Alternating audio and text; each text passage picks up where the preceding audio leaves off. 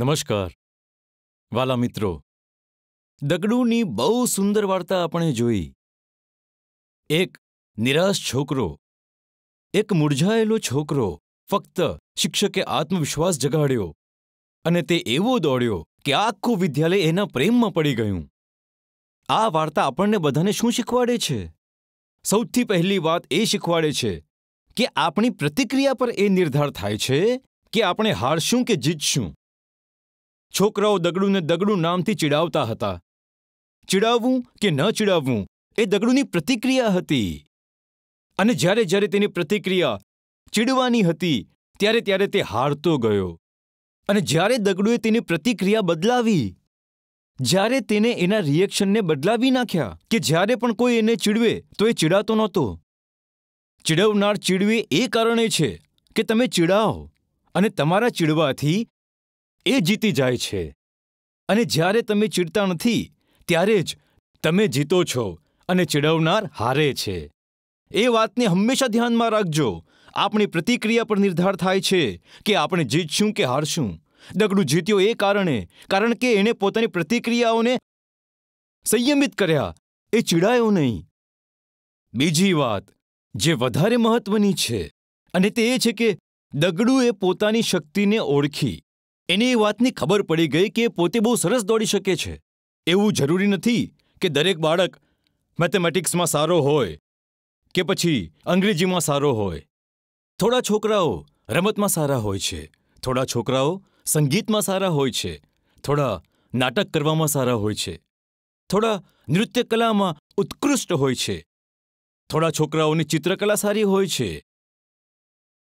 આપણે જોઈએ કે આપણી અંદર છુપાયેલી એ શક્તિ કઈ છે કે જેથી સૌથી ઉત્તમ કરી શકીએ અને તે કામ આપણે પૂરા દિલથી કરવું જોઈએ.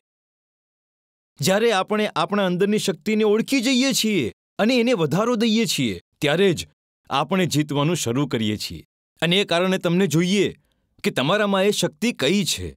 બહુ બધા મિત્રો હોવા અને તેમનું નેતૃત્વ કરવું એ પણ એક પ્રકારની શક્તિ છે. એ પણ બુદ્ધિમત્તા છે.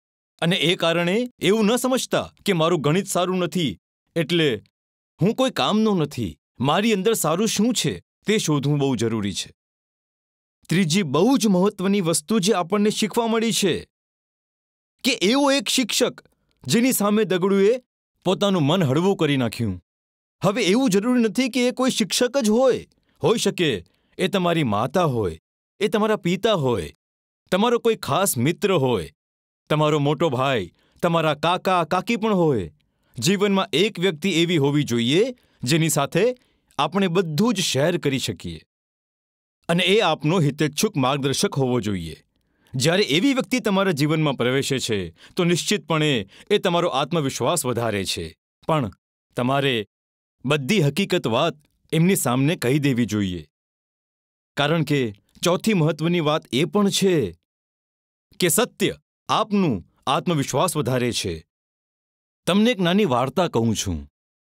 એક છોકરો હતો, જે જીવનમાં ઘણું બધું ભણ્યો અને ભણતર કર્યા બાદ, જ્યારે એ પોતાની પરીક્ષા દેવા માટે ગયો, ત્યારે એને એમ થયું કે એક પ્રશ્ન જે મને નથી આવડતો, તે હું લખી લઉં છું. મારા ખિસ્સામાં એક ચીટ રાખી લઉં, કોપી કરીને લખી લઈશ. પણ તે એક ચીટમાં જ, જ્યારે એ એક્ઝામ હોલમાં લઈને ગયો, ત્યારે થયું એવું કે વારંવાર તેના મનમાં એ વાત આવી કે હું આજે કંઈક ખોટું કામ કરવા જઈ રહ્યો છું. એ ચીટ જે મારા ખિસ્સામાં છે, એ પકડાઈ ગયું તો શું થશે? અને આ જૂઠના કારણે એ જે કાંઈ પણ ભણ્યો હતો, તે પણ સારી રીતે ન કરી શક્યો. સત્ય, આપણો આત્મવિશ્વાસ વધારે છે. અને સૌથી મહત્વની વાત તો એ છે કે સત્યની સાથે આપણો પરિશ્રમ હોય. જે વાત તમને બહુ સરસ જાણતા હોવ, તેના માટે એટલો પરિશ્રમ કરો કે એમાં તમને પુરસ્કાર મળવો જ જોઈએ. અને જ્યારે કોઈ પુરસ્કાર તમને મળે છે, ત્યારે આખી દુનિયા તમારો જય જયકાર કરે છે. અસફળતા એક પડકાર છે. સ્વીકાર કરો. શું ઓછું રહી ગયું જુઓ અને સુધારો. જ્યાર સુધી સફળ ન થાવ, ઊંઘનો ત્યાગ કરો તમે. સંઘર્ષોના મેદાન છોડીને ભાગો તમે. કંઈ કર્યા વિના જ જય જયકાર નથી થતી. પ્રયત્ન કરનારની હાર નથી થતી. આભાર.